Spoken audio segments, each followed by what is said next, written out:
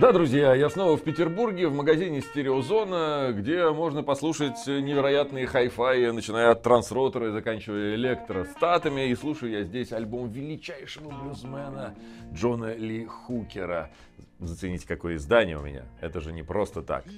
Двойник аудиофильский. На самом деле, э, в оригинале это одна пластинка, но здесь две пластинки по 45 оборотов, 180 грамм, все как положено. Analogue Productions для Impulse. New Wave of Jazz. Хм. О джазе и поговорим.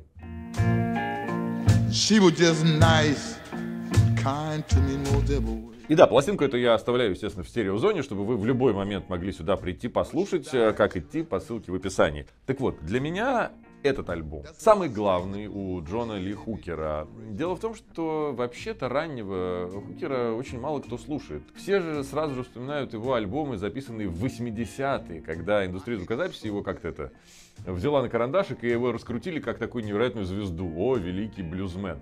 А на самом деле, вот этот 80-ский Джон Ли Хукер с невероятным электрическим составом, это совсем не тот настоящий Хукер, который должен быть. Для меня вообще самый интересный его ранние альбомы, где он вообще один играет на гитаре, там вот этот фолк-блюз и тому подобное.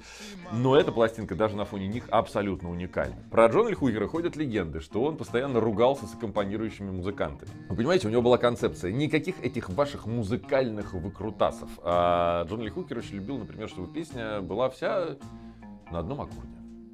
Вот уважаю мужчину.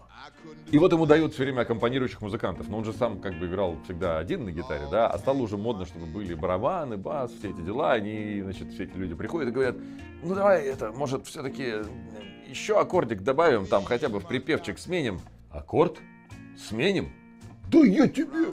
В общем, Джон Ли Хукер был строгий дед и э, не любил вот этих вот всех вот этих вот музыкантских дел. Тем более, давайте говорить откровенно, большинство его составов, с которыми его заставляли записываться, ну, это были, честно говоря, обыкновенные эстрадные лабухи, да, как люди, которые консерватории не заканчивали, поэтому особенно хорошо, так сказать, относились к серьезности звукоизвлечения и желали, чтобы было чуть посложнее.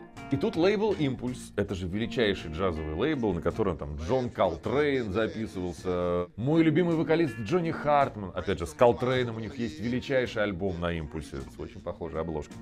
И вот э, сам Боб Тилли, великий продюсер всех этих э, лучших записей джаза того времени, он решил сделать фильм и дать Джону Ли Хукеру, вот этому, значит, э, пьющему упырю с одной гитарой, который любит одну ноту, дать ему лучших сессионных джазменов, которые вообще есть на планете Земля, которые работали, собственно говоря, с импульсом. И эта пластинка записана именно так. А, а эти люди, вы понимаете, в чем фишка? Им не нужно, типа, вот, э, добавить аккордов. Им одну ноту дай, они обыграют ее так, э, как будто э, не 7 нот мы у нас э, в западной цивилизации используем, а все те 12.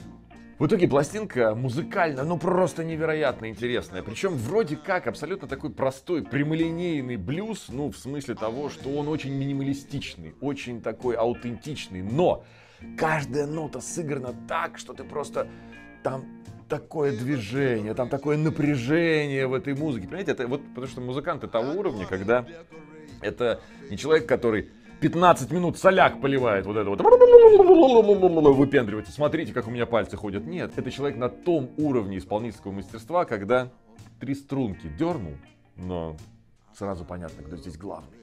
Обалденный альбом, под который, конечно, так и подмывает махнуть скотча. И для примера я взял э, шотландский виски, который гордо несет название «Самый вкусный виски Шотландии». На самом деле, это такой красивый русский перевод, а по-английски это звучит э, «виски, где больше всего вкуса».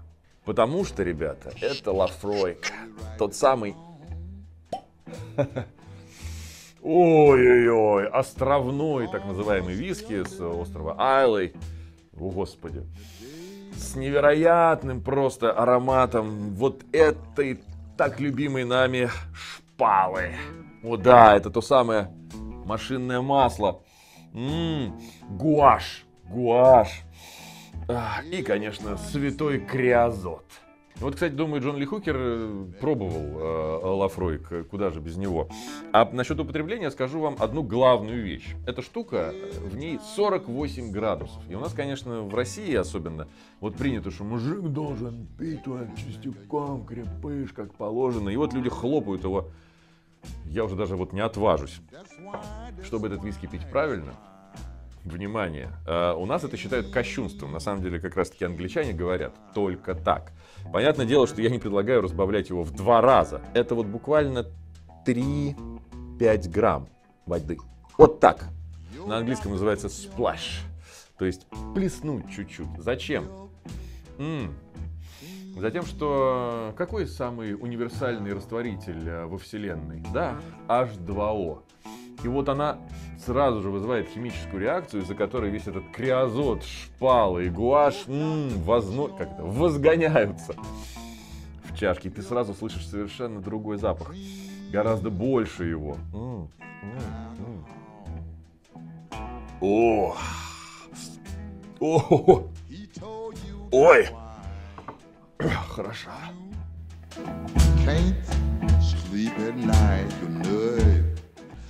В общем, ребят, если честно, я уже такой виски могу только пробовать. Пить его сил нет. Поэтому эта бутылочка в равной степени, как и эта пластиночка, остается в Петербурге в стереозоне. Можете послушать. А также сказать, что вы посмотрели то самое видео Борзенкова «Похмелье с Мишей» и знаете, что здесь есть бутылочка Лафройга и вам нальют. Как сюда идти? Все подробности по ссылке в описании, а во второй ссылке их ВКонтакте, где они каждую неделю разыгрывают разнообразные винилы. Тоже не пропускайте, когда ж такое еще раздадут.